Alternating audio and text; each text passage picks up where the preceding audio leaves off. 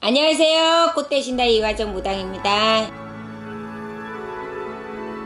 저번에 이제 저번 시간에 소금이 참 많은 어, 관심을 좀 받으셨던 것 같아요. 네, 네, 네, 네. 어떤 이런 집안이 좀 너무 안 풀릴 때나 음. 이런 때 좀 도움이 될 수 있는 어떤 이런 방법들이 또 있을까요? 음, 많지, 많지.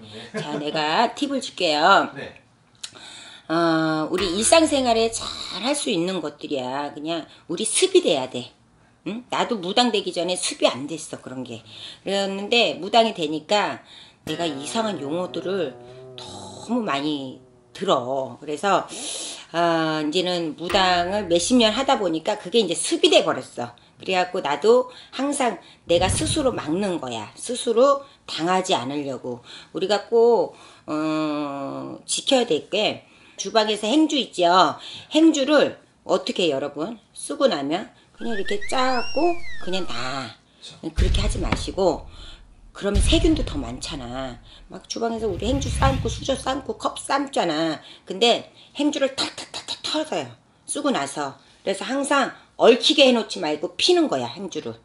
그렇게 하고 어, 주방에다가 항상 놓으시고 또 우리가 왜 그렇게 하냐. 꼭 관제 있는 사람, 뭐 집안에 우환 있는 사람, 뭐 뭐 좀 일이 직장을 다니면서 잘 안 풀려.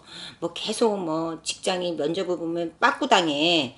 뭐 이런 사람들 또 우리가 뭐 가족끼리 조금 부부 사이가 막 자손하고도 얽혀 엄마만 너무 안 들어 이런 집들은 꼭 그렇게 해보세요. 조금 애가 바람이 좀 자.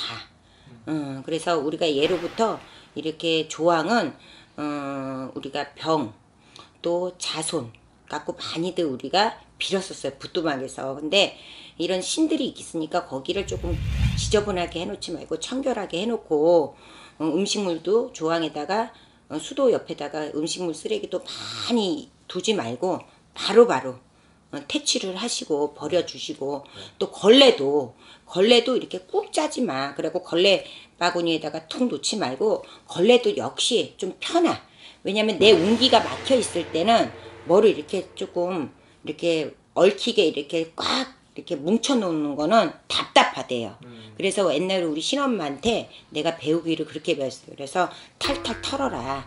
그래서 이렇게 조금 반듯하게 뭐든지 해놓으면 내 운기가 이렇게 막혀 있는 것도 반듯하게 이렇게 펴진다. 이런 전례를 내가 들었어요. 그러니까 여러분한테 팁을 드리는 거니까 어, 앞으로 이 방송을 듣고 계속 내가 습이 되는 거야. 습이 되면 나도 모르게 조금 그렇게 했더니 좀 바뀌는 것 같아 라는 느낌이 있을 거야. 그러니까 여러분이 그렇게 하셔서, 음, 앞으로 좋은 어, 인연으로 어, 여러분이, 이 구독자 여러분들이 나는 행복했으면 좋겠습니다. 감사합니다.